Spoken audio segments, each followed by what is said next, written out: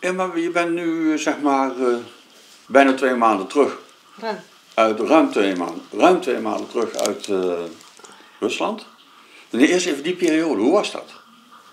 Oeh, heftig. Ja? Ja, best wel. Ja. En in welke zin? Be- Heb je de moed wel eens verloren? Nee. Nee, één moment dat het inbrengen van de nekkatheter misging. Toen Misging. eventjes eh, paniek. En Ja. dat was het enige moment ook eigenlijk. En was er meer paniek bij de doktoren of bij jou?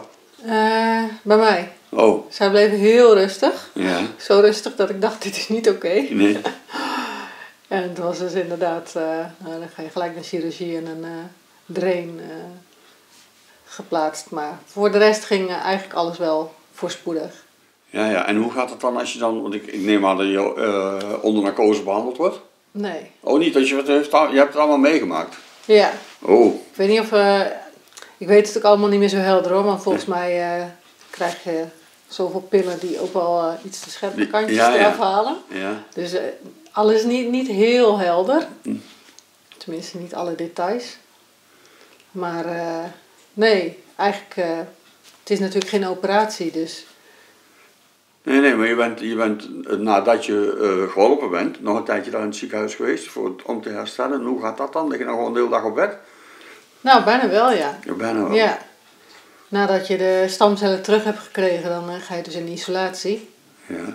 Maar goed, dan ben je ook echt wel... dan merk je ook wel dat alles platgelegd is, dat er niet zo heel veel over is. Mhm. Dus ja, ik heb ook echt heel veel geslapen. Heel veel geslapen. Dus je, in die zin heb je er niet heel veel last van gehad, want je hebt de meeste tijd geslapen.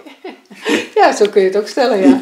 Maar ik was nog genoeg tijd wakker om toch ook nog eh, wel het een en ander mee te krijgen, hoor. Ja, ja, ja. En dan kom je thuis en dan? Eh, nou ja, ook eerst... eh, je hoopt natuurlijk van... Je bent er geweest en je huppelt het ziekenhuis uit. Ja. Maar dat is dus niet helemaal zo. Dus Nee. echt wel, je bent echt wel heel verzwakt hoor. ja. Want eerst hier... Je lichaam eh, krijgt gewoon een oplawaai.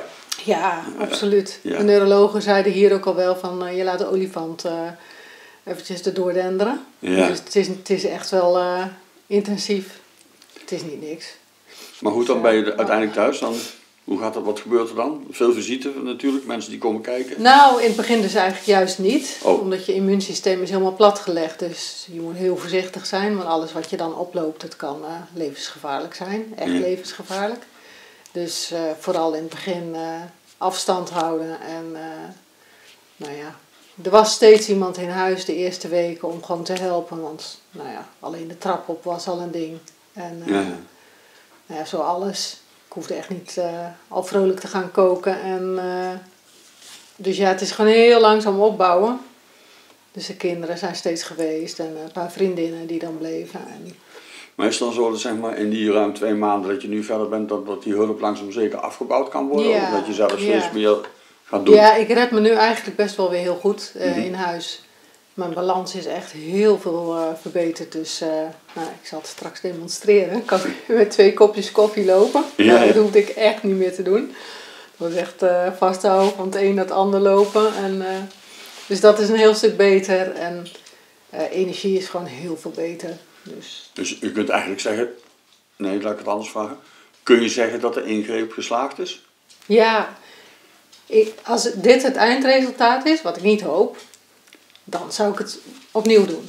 Ja. Ja, ja. Maar je zegt wat ik niet hoop, je hoopt dat het nog beter wordt. Ja, ik hoop dat het echt nog een heel stuk beter wordt. En dat is ook wel de verwachting. Dat, eh, ze zeggen sowieso van trek er een jaar vooruit voordat je weer ergens bent. Ja, ja. Dus, eh, nou ja. Maar word je in dat herstel ook nog geholpen? Fysiotherapie of zo? ja. De fysiotherapeut is tot nu toe steeds hier geweest.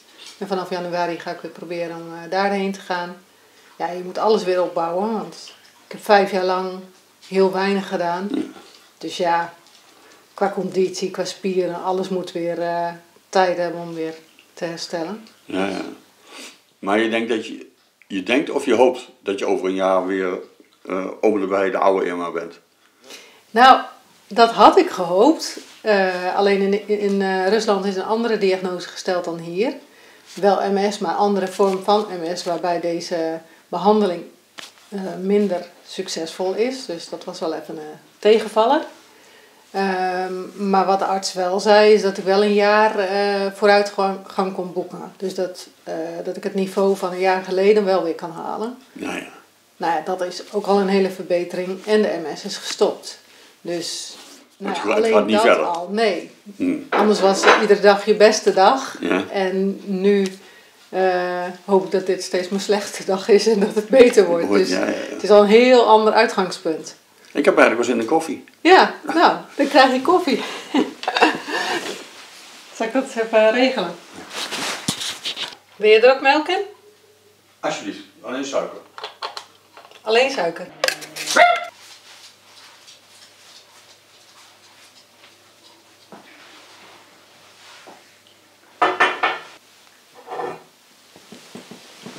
Ja, dat is dus al echt genieten, hè? Dat je gewoon met twee kopjes koffie weer kan lopen. Dat is, eh, zijn kleine dingen, maar dat waardeer je dan heel erg. Vroeger was je nog wel van het sporten. Hè? Ja, heerlijk. En denk je dat je dat nog ooit weer kunt doen? Mijn goede voornemen voor 2022. Ik word gewoon weer lid van de tennisclub. Ja. En ook al is het maar vijf minuten per keer, ik ga het wel weer proberen. Ja, ja. Ja. En dan hoop ik dat dat ook weer een goede oefening is.